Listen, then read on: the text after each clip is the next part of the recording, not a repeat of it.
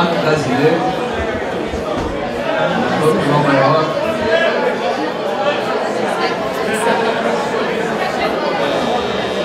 Tinha tocado uma música de um protesto a favor do Tonho Croco, nosso brother.